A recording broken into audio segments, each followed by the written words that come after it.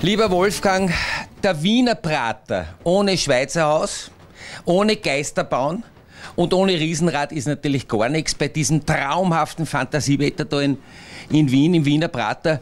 Du hast 1983 das erste Buch geschrieben mit einem Riesenhammer, Der Märchenmond. Mhm. Äh, wenn man jetzt deine 200 Bücher oder mehr als 200 Bücher sich anschaut im Verlauf dieser Zeit, dann sind das ja 5, 10 Bücher pro Jahr.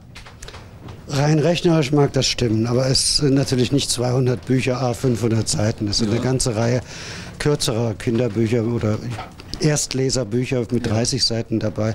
Also ich glaube, an größeren Büchern, das hat mal irgendein Fan ausgerechnet, liegt der Durchschnitt bei 3,78 oder irgend sowas in der Richtung. Hast du die, hast du die Seiten zusammengezählt? Das nicht, aber man kann das so ungefähr äh, einschätzen. Also es ist schon ein fünfstelliger Bereich, ein etwas höherer.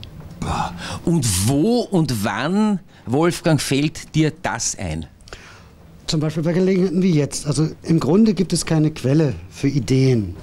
Also nicht, dass ich, meine Standardantwort ist immer, ich gehe ins Ideenfachgeschäft und kaufe die da. Das ist natürlich Quatsch. Äh, man kann aus jeder Situation eine Geschichte machen. Ob die dann gut oder schlecht ist, das steht auf dem anderen Blatt. Aber nehmen wir mal ein ganz simples Beispiel. Diese Situation, ich bin in einer Gondel im weltberühmten Riesenrad im Prater und jetzt passiert eben irgendetwas. Also ich hoffe natürlich, dass nichts passiert, aber ich kann die Szene natürlich so weiter stricken, dass irgendwelche Terroristen da das Ding in die Luft sprengen, dass wir einfach stecken bleiben und kommen hier nicht mehr raus oder noch verrückter, dass plötzlich alles verschwunden ist und nur noch diese Gondel ist da. Wie gesagt, das, nicht aus jeder Situation kann man eine gute Geschichte machen.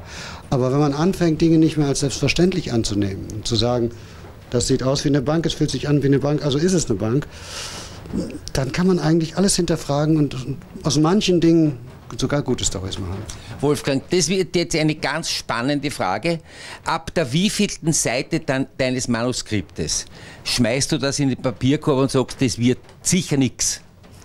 Also da bin ich einfach äh, in der glücklichen Lage, da gibt doch nicht keinen Grund, mir was darauf einzubilden. Ich habe einfach das Glück, ich merke das. Also wenn ich fünf, sechs, sieben Seiten geschrieben habe und ich muss dazu sagen, die ersten fünf, sechs Seiten oder manchmal auch zehn schreibe ich meistens sehr, sehr oft. Also die erste Schre Seite 20, 30 Mal schreiben ist gar kein Problem. Das ist eigentlich schon fast Standard. Aber da gibt es einen Punkt, wenn ich merke, ich komme einfach nicht weiter, ich komme nicht in die Geschichte rein. Ich habe zwar die Story im Kopf bis hin zu Dialogen zum Teil, aber es, es läuft nicht. Es ist alles holperig oder gefällt mir nicht. Das merke ich recht früh. Und ich glaube, ich habe nichts weiter als 20 Seiten geschrieben, was ich dann nicht irgendwann auch mal zu Ende geschrieben habe. Okay, also dann noch 20 Seiten Mistkübel.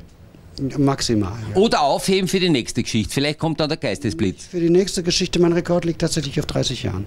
Einer der ersten äh, Anfänge, den ich geschrieben habe, bevor ich überhaupt als Autor tätig war, so hobbymäßig, äh, war eine Szene, die dann so 30 Seiten lang war. Die habe ich so oft geschrieben, dass ich sie am Schluss tatsächlich auswendig kannte. Jetzt nicht wortwörtlich, aber mhm. ich brauchte nicht mehr reinzugucken. Und ich habe wirklich nach 30 Jahren dieses alte Manuskript rausgeholt und gesagt, ach komm, ich versuch's nochmal. Sechs Monate später war der Roman Infinity fertig und war auch ein ansehnlicher Erfolg. Wolfgang, ich muss dich jetzt im Sinn unserer Zuschauer fragen nach deinem Outfit. Nach dieser prachtvollen, nach dieser prachtvollen Haarlocke, nach dem Bord, äh, inspiriert dich dein Spiegelbild für wilde Geschichten? Nein, auch da muss ich leider wieder ein paar Illusionen kaputt machen. Ich bin weder ein übrig gebliebener Happy, noch mache ich das aus Überzeugung. Ich bin schlichtweg zu faul, jede Woche zum Friseur zu gehen. Was sagt denn dein Schatzal, die Heike, dazu? Die mochte das immer schon. Die wollte immer schon einen Highlander. Jetzt muss ich dich noch was fragen. Äh, Wolfgang, du hast einen Garten, da sind Feen und Hexen und Gespenster und ich glaube sogar ein kleiner Teich drinnen. Wer gestaltet den Garten? Die Heike und wer ist der Erfinder der Gespenster? Äh, Heike, Heike und nochmal Heike. Wenn es mein Garten wäre, würde ich ihn betonieren und grün anstreichen. Echt? Ja.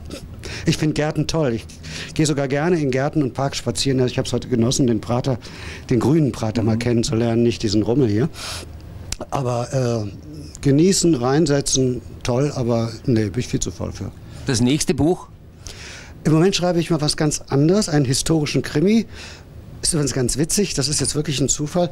Eine der wichtigen Szenen spielt im ersten Riesenrad der Welt, das 1800 1993 in Chicago auf der Weltausstellung gestanden hat. Na, was ich weiß, dieses äh, Riesenrad im Wiener Prater 1700, was weiß ich, Ende. Der Prater ist so alt. Das Riesenrad, also das Ferris Wheel in Chicago war wirklich das erste. Ich halte nicht aus. Was empfindest du denn jetzt, wenn du hinunterschaust? Du, wenn jemand höhenkrank ist, bleibt er wahrscheinlich eh unten. Aber was empfindest du denn, wenn du siehst den Wiener Prater, die vielen, vielen Bäume, die glänzenden Dächer, wunderschön? Ich finde es wunderschön. Ich bin sowieso ein Fan von Miniaturen, deswegen gefällt es mir immer, Sachen von oben zu sehen. Und ich finde es einfach grandios, diesen Ausblick. Also ich fliege zum Beispiel sehr, sehr gern, weil ich Start und Landung so genieße, diesen Ausblick aus der Luft. Es gibt ja nichts Langweiligeres als Fliegen eigentlich. Man sieht drei Stunden lang den ja. Hinterkopf vom Vordermann. Aber wenn man dann, wenn die Welt immer so, so langsam unter einem wegsackt und kleiner wird, das finde ich toll. Also ich bin auch habe mir ganz fest vorgenommen, wenn ich es mir in zehn oder wie vielen Jahren auch immer finanziell und gesundheitlich noch leisten kann, werde ich auch mal in den Weltraum fliegen, wenn es dann soweit ist. Wolfgang, 40 Millionen verkaufte Bücher. Ist in deinen Büchern auf der Vorder- oder auf der Rückseite dein Porträt? Auf einigen wenigen ist es drauf, ja. Okay, wirst du erkannt und was sagen deine Fans, wenn sie dich jetzt in Wien im Prater erwischen? Du hast ja bereits heute ein Autogramm gegeben. Ja, aber ich glaube, die haben dann dreimal hingeguckt, weil sie eben die Kameras gesehen haben und vielleicht auch den Namen gehört, das weiß ich nicht. Also, äh, ich finde das eigentlich sehr charmant als, als Schriftsteller äh, ist man in der wirklich bequemen Situation, man kann diesen Ruhm, ich will jetzt nicht behaupten, dass mir nicht gefällt, ich finde es toll, erkannt zu werden. Man kriegt ihn in kleinen Dosen dann, wenn man ihn haben möchte. Man kann es ja auch lenken, wenn man an gewisse Örtlichkeiten geht. Aber ich kann genauso gut zum Beispiel auch mit meiner Frau oder Freunden mich hier in den Prater setzen und ein Eis essen oder ein Bier trinken. Ich glaube, das würde keiner merken. Fan, Fanpost? Äh, ja, das hat sich aber völlig gewandelt. Früher war es so, ich musste meiner Schande gestehen, einige werden es jetzt auch verstehen, warum, wenn sie das sehen. Ich konnte nicht alles beantworten, weil einfach zu viel da war. Äh, ich hätte jemanden beauftragen können, den Standardsatz, vielen Dank, bla bla bla, finde ich aber nicht gut. Mittlerweile gibt es eigentlich so, so physikalische Post mit Tinte auf Papier oder Schreibmaschine. Ganz, ganz selten. Also ich würde sagen, im Schnitt vielleicht alle drei Monate einer. Dafür gibt es ganz, ganz viele E-Mails. Und das nimmt langsam aber sicher auch wieder richtig große Ausmaße an. E-Mails, die Wolfgang am Tag beantwortet, denn wie Sie ja wissen, seine Romane schreibt er in der Nacht und dazu hat er keine Zeit. Was wünschst du dir als letzte Frage jetzt von mir, von unserem Aufenthalt im Wiener Prater heute noch? Viele schöne Eindrücke. Es war ein wunderschöner Tag, ein bisschen nass, aber das macht mir eigentlich nichts aus. Mhm. Äh, ich hoffe, es geht so weiter noch äh, ein gespritzter? Heute Abend, ich muss heute noch arbeiten und sonst wird die Lesung vielleicht ganz lustig, aber hinterher gerne. Also dann, toi toi toi für die Lesung. Alles Gute.